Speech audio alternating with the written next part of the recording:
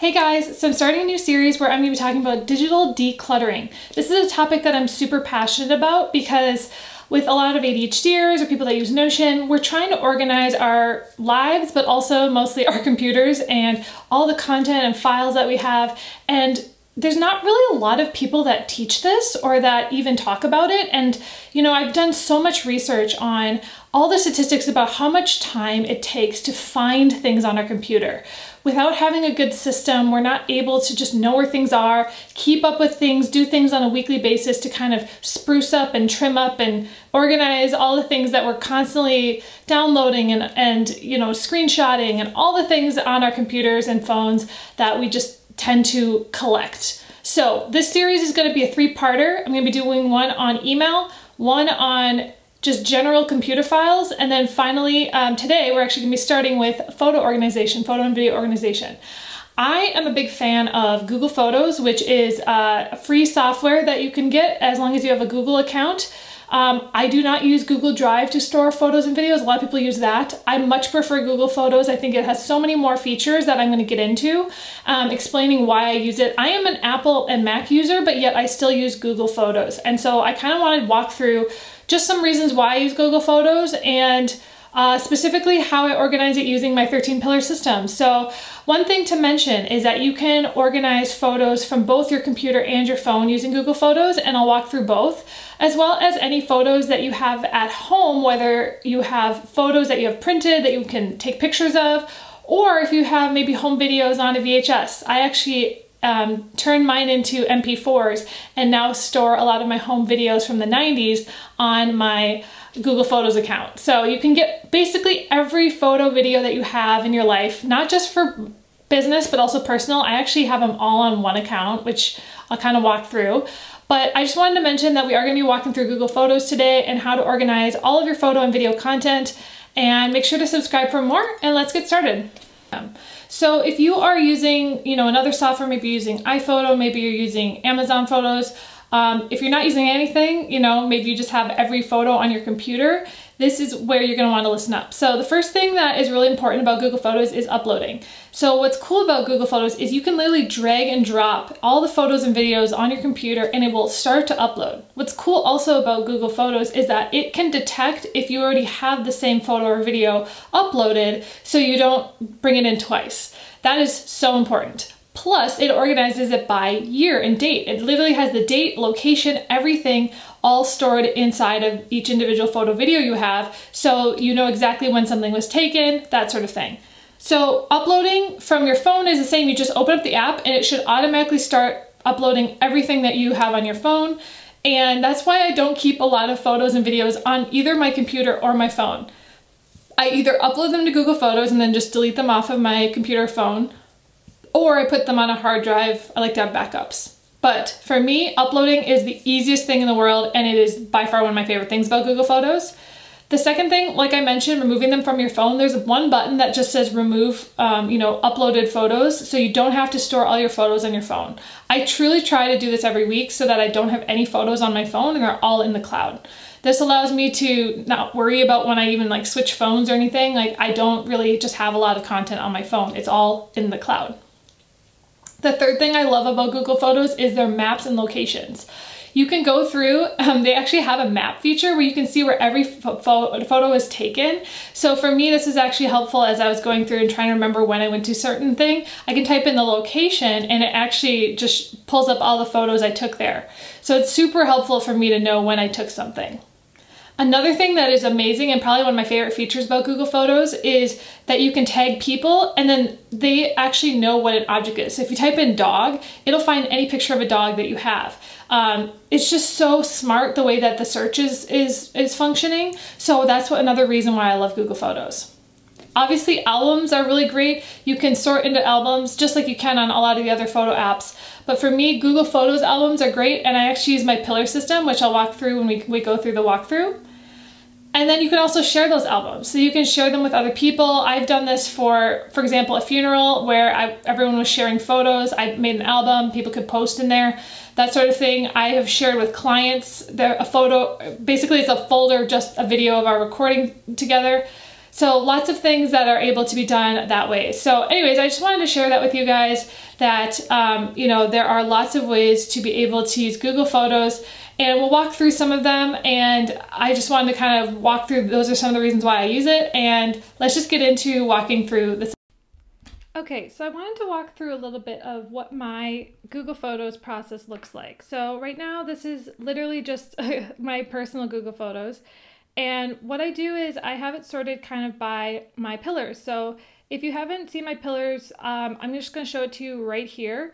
So I've got 13 different pillars that I organize my life by. And so I do that with Google Photos by having it be the first title of the album um, for like some I put business project instead of business project.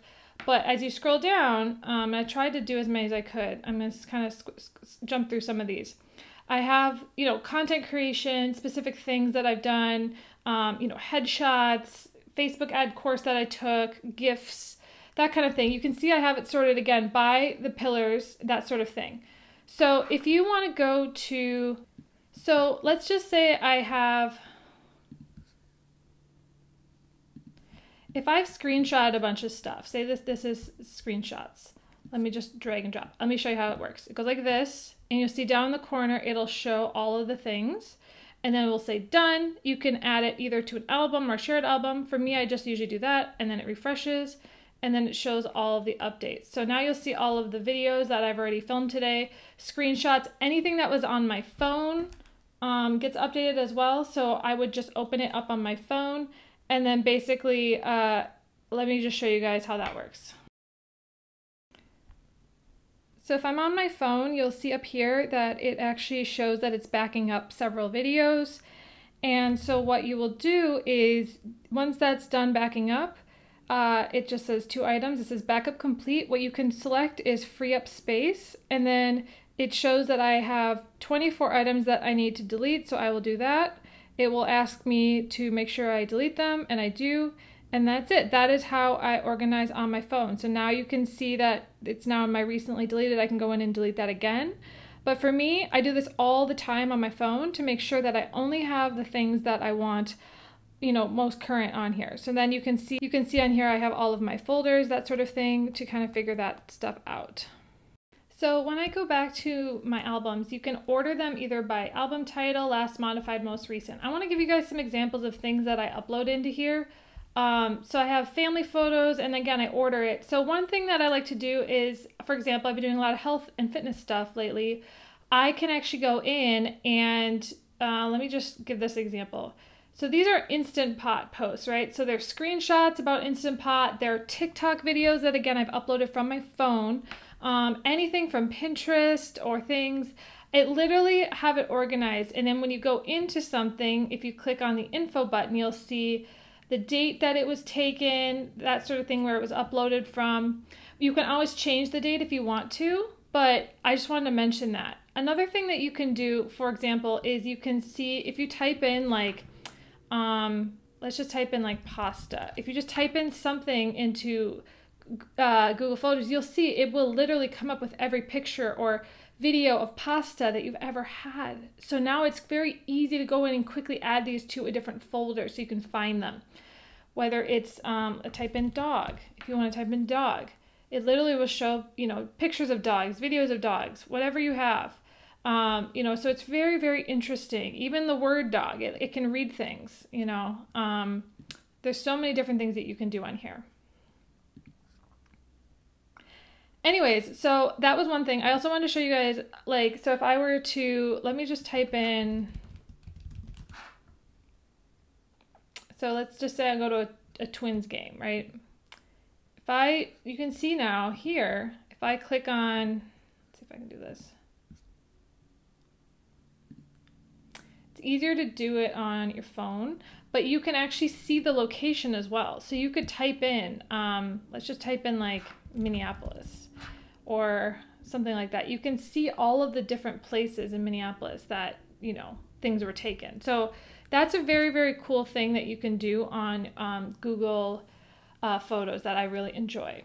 Again, another thing, you can search by people. So I actually have a profile of every picture with my face on it. So I could do that. Um, let me think of another example. um, let me just use my mom as an example. So, you know, every picture that's been taken of her, um, that sort of thing is on here. So again, you can sort it by people. That it's just so cool, and I just love it so much. So again, what I do for mine is I organize it first by the pillar. So whether it's business projects, content, family, friends and social. If you scroll all the way down, like I have a ton of different albums. So I hope that this was helpful for you guys to kind of see a walkthrough of how I use Google Photos. Um, just some of the things I've literally have, you know, travel, everything from my life. I have both photos and videos. So that's another thing. I actually converted a lot of my videos from my home videos as well as you know any other videos I have on my phone you can upload. I do pay a couple dollars a month for Google Photos because I use it so much and I try I have 200 gigabytes on here. Not everyone needs that. I just am a power user of it and I have a lot of content that I save. Uh, but I wanted to just mention that you know Google Photos is so great. One of the things that you can do is you can um, one of the things I like to do is when I'm reading a book I actually like to make a lot of my books, uh, Kindle quotes into images, and then I upload them to Google Images. You can actually search text on Google uh, Photos as well. So if you type in a term, it may sometimes it works, sometimes it doesn't but it has like the AI learning, which is great. I know a lot of people do Readwise with Notion and Kindle, but I don't know, I like this route a lot as well. I could go in and copy all of these notes as well, but I like to just have another uh, copy of a lot of the quotes that I've read. Sometimes they have, you know, graphics and things as well, so it's very important to have. So I just thought that this was a great system for me. This is like my second brain using Google Photos as well. A lot of people always talk about putting photos and videos on Notion, and I'm like, mm, Google Photos is great on its own. Like, I don't need to use Notion as a way to store images and photos and videos. I really just use Google Photos as like my, that's why I always say it, my two favorite apps are Notion and Google Photos. Google Photos is everything visual, Notion is everything text, um, and just kind of organizing thoughts. So one thing I did want to show as well is how you can use Google Photos with Canva, and I'll jump over to that real quick. So when you're inside of Canva, let's show an example. If I'm trying to find a photo or video that I've used before, so this is an example for my um, ADHD resources page. You'll see if you go down here, it should be here right here, Google Photos. You will see literally it has the most updated everything. It has my folders here. It only shows like the most recent folders though, so just FYI. But literally, I can, as long as everything's up to date, I can literally drag and drop. Um, let me give an example. This was a, a song I was listening to earlier. You literally, I screenshotted this an hour ago and now I can pop it in. I actually use this when I'm making uh, thumbnails for YouTube. I actually take the photo usually on my phone and then just put it in Google Photos and then pop it into Notion or into Canva to edit. So I just thought that that was helpful to know as well. So I hope that this video was helpful. I am going to be doing one on email as well. I have done a video on email, but I'm going to go through it a little bit more in depth, um, specifically because so many people struggle with email. And then also files on your computer. That's a really important topic as well. So anyways, I hope that this declutter series is going to be fun. If there's any other things you want to see me declutter, one thing that is a great topic as well is Canva because I use it a lot for content creation. Um, that's mainly the things I find people struggle the most with is photo video content, emails, and just computer files. Um, a lot of it I put into Notion nowadays, a lot of PDFs, a lot of any type of text. Um, I don't really use Google Drive or I actually don't have Microsoft Word on my computer. I only use text stuff in Notion and uh, for a lot of it, again, I don't use Google Drive because I use Notion and Google Photos. So I really just skip that step. So anyways, hope you guys enjoy this video and I'll talk to you guys next week.